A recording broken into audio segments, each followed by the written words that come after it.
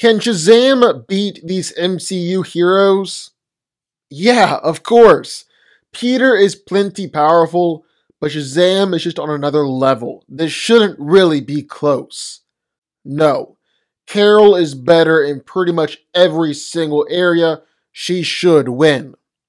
Yes, Shazam might have trouble with the nanotech suit, but he's on the same scale as Superman.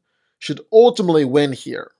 No, Shazam is really fast, has other powers, but Hulk is ultimately stronger and tougher, and I'll give him the edge. Vision never really did it for me. Shazam has what it takes to take the android down. Billy is impressive, but Thor is just, well, Thor. He's better all around.